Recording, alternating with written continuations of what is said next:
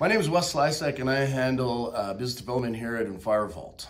We live in a constant changing world with sustainability at the forefront.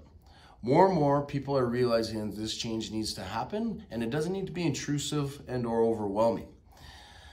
Our main goal at EnviroVault is to reduce emissions and we feel that we have the best solution possible. We understand that the main goal on a well site is to conserve waste gas, but when that's not a possibility, we feel that our industry leading combustors are the most affordable and best solution there is.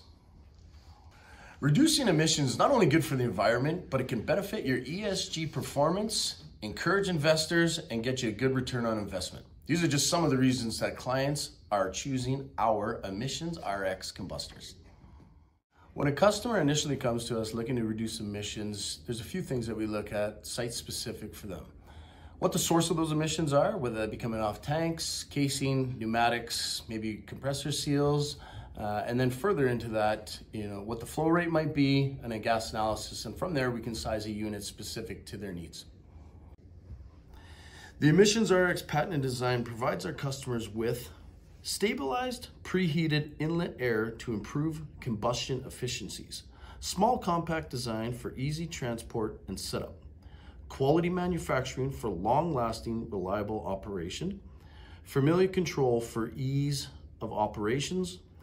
These features, along with others, have contributed to the success our product has had.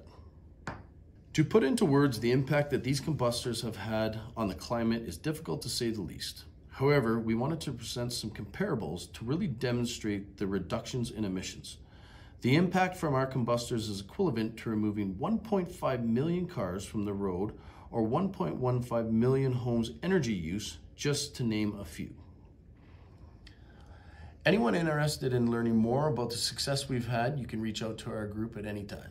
Thanks.